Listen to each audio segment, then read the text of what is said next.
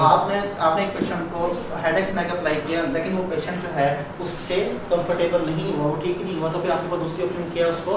Reverse headache apply करनी snacks apply करने।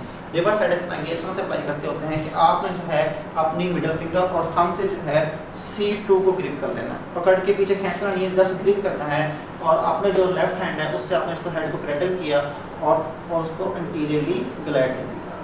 ठीक है?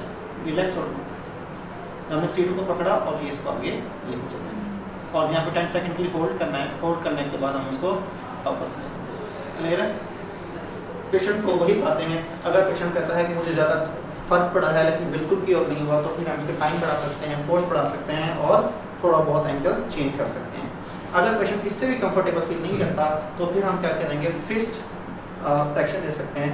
फिस्ट एक्शन के लिए किया है कि आपने क्या करना है? आपने जो ये लिटिल फिंगर है, ये आपकी स्टर्नल नॉच पर आनी चाहिए और आपकी थोड़ी के नीचे क्या है, आपके इंडेक्स फिंगर आनी चाहिए। क्लियर और दूसरे हैंड से हमने क्या करना है? इसको खींचना और होल्ड करना है टेन सेकंड्स के लिए। अगर इससे टेक्शन अच्छी नहीं आ रही तो एक फिंगर को निकाल दें, फिर दो को निकाल दें। तो अगर टेक्शन बढ़ाना चाहते हैं और सिंगल इसको होल्ड करना इससे भी आपका हेडेक जो है, वो कम हो जाएगा।